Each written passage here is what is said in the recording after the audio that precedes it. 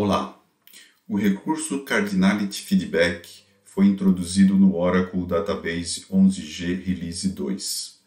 Este recurso entra em ação quando o otimizador gera um plano de execução para uma instrução SQL que possui predicados complexos, operadores complexos, estatísticas obsoletas ou estatísticas ausentes. Nestas situações, o otimizador vai monitorar a cardinalidade das operações no plano e, ao término da execução da instrução SQL, se houver uma diferença significativa entre a cardinalidade estimada e a real, as cardinalidades reais serão armazenadas na SGA para um uso posterior, e a instrução é marcada como reotimizável. Na próxima execução, a instrução SQL será reotimizada usando as cardinalidades armazenadas, permitindo que o otimizador gere um plano de execução melhor.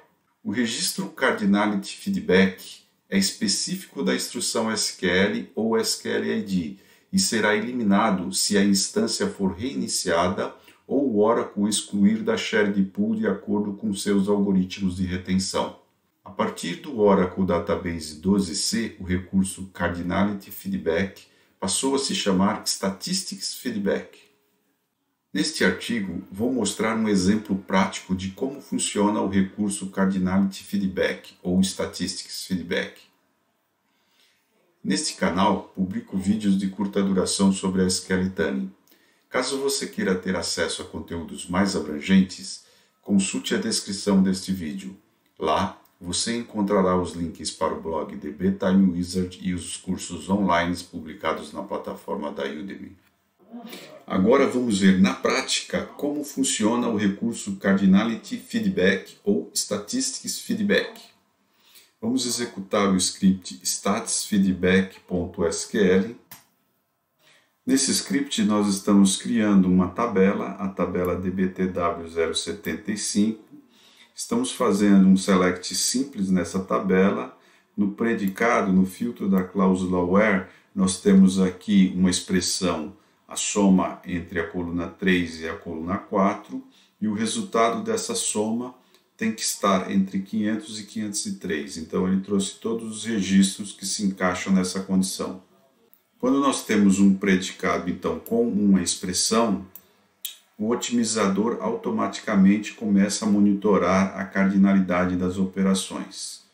Aqui no plano de execução, nós podemos observar que o otimizador estimou que seriam lidas 2.524 linhas, quando na verdade foram lidas 45, um erro muito grande.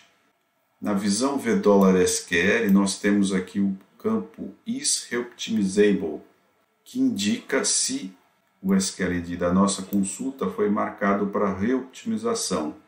Está como yes, consulta que nós executamos.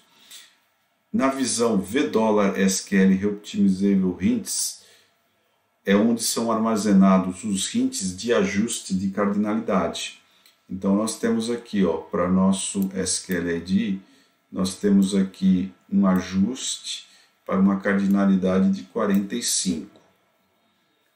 Na sequência, nós estamos executando a mesma consulta novamente. E no plano de execução agora, nós temos aqui que a estimativa bateu com a quantidade de linhas realmente acessada. Aqui embaixo, no, na seção Note, nós temos aqui a informação de que Statistic Feedbacks foi usada para esse statement.